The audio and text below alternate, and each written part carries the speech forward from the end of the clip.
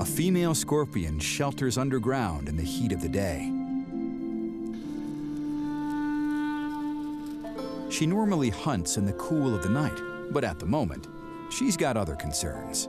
Scorpions give birth to live young, and her hundred or so babies climb onto her back for safekeeping.